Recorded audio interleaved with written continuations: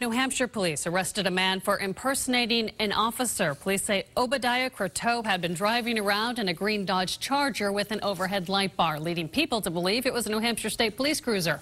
The car had also been spotted at multiple accident scenes in Merrimack. Well, he's charged with false impersonation of law enforcement and is due in court later this month.